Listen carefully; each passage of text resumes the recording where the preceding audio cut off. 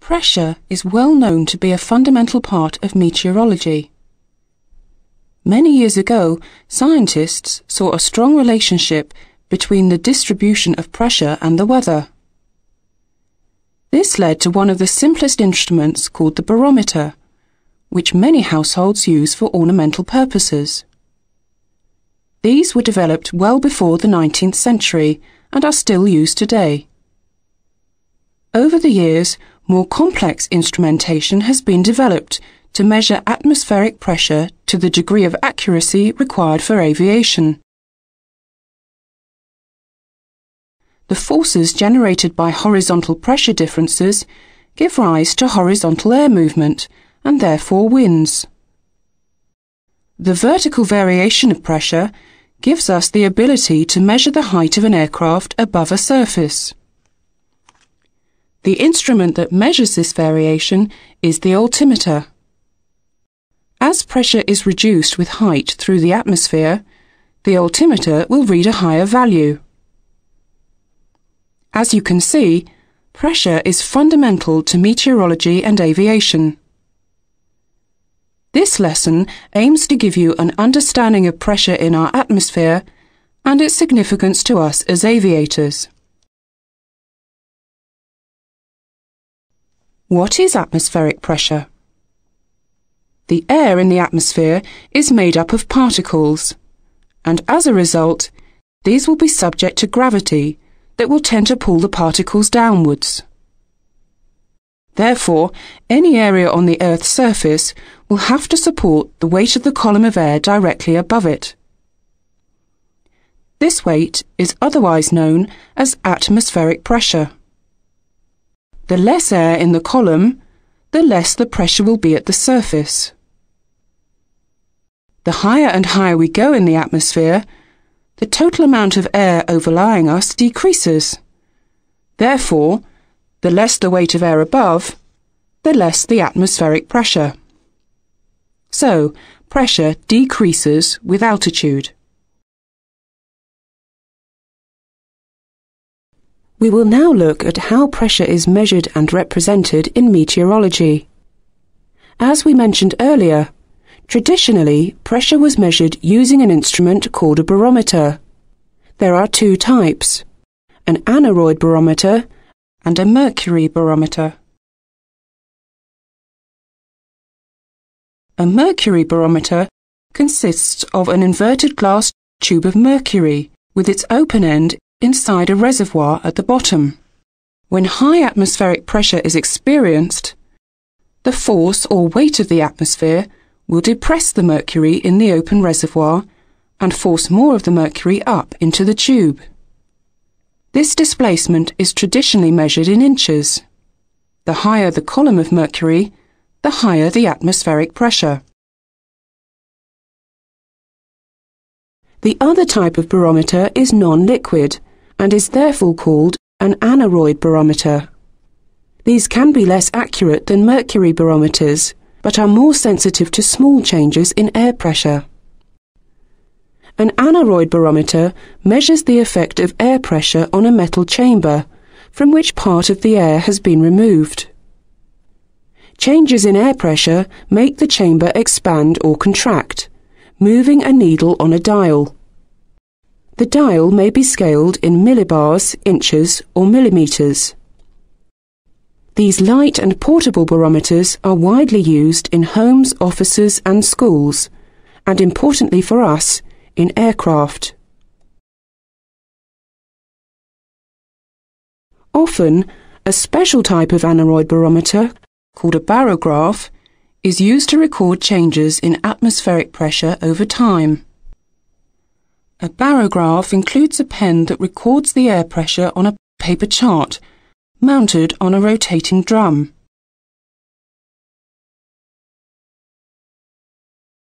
Going back to the mercury barometer, once calibrated, the average sea level pressure will displace the mercury from the level in the reservoir by 29.92 inches. The United States usually use inches for measuring pressure. However, elsewhere, it is more common to use the millibar, or hectopascal, to measure atmospheric pressure. This uses a different scale, but for comparison, 1013.2 hectopascals is equivalent to 29.92 inches of mercury. In recent years, the adoption of the metric hectopascal has been replacing the millibar. However, do not worry because the hectopascal and the millibar use the same scale. 1013.2 millibars is also 1013.2 hectopascals. In summary then, 29.92 inches of mercury is the same as 1013.2 millibars and 1013.2 hectopascals. Remember from the atmosphere lesson that this is the atmospheric pressure at mean sea level according to ISA. Next, we will look at horizontal variations in pressure. Now we need to analyse how we might show pressure variations across a region. This is important because then we will be able to identify if one area of a surface is experiencing higher or lower pressure than another area. In order to remove the pressure height anomaly, i.e. the vertical pressure variation, we reference our observations to a common horizontal level, usually mean sea level. If we look at the diagram, we can see various stations reporting their particular pressure values.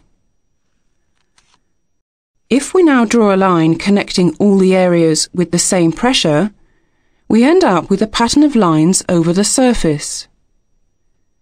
These lines are called isobars, and they join places of equal pressure.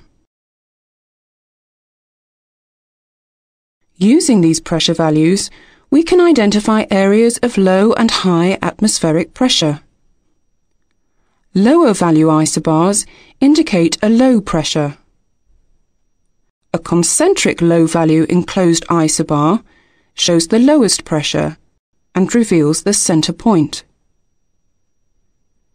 These systems can range from tens of nautical miles wide to hundreds and even a thousand miles wide. Note, though, that the spacing between the isobars in the low can be smaller than those found around high pressures. This means that the pressure gradient, or the change in pressure with distance, can be greater within a low pressure system than in a high pressure system.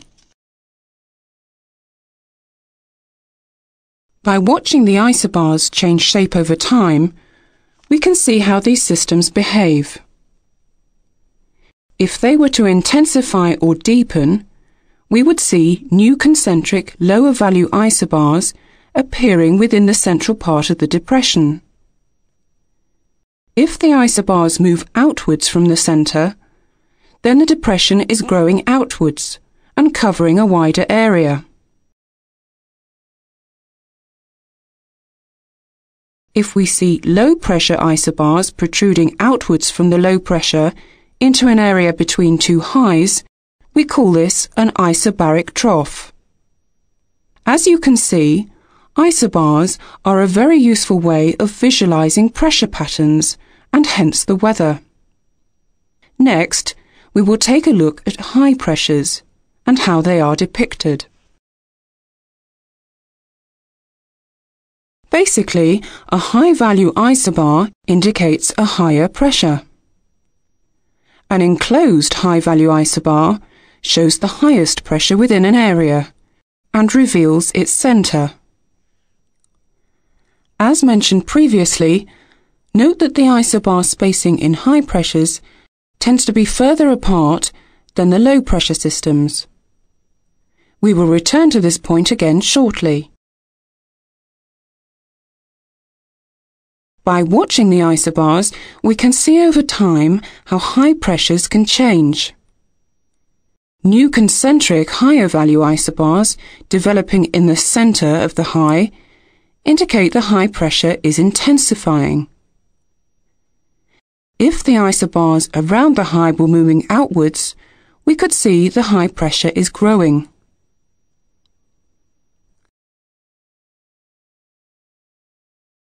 If we see the isobars protruding outwards from the high pressure into an area between two lows, we call this a ridge. It signifies an extension of the high pressure into another area, spreading its influence.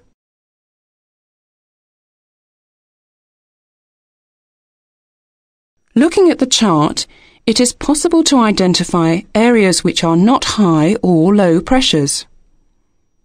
These areas are generally found between highs and lows and are called cols. They are synonymous with calm conditions. High pressures, low pressures and cols are dealt with in considerable detail later on.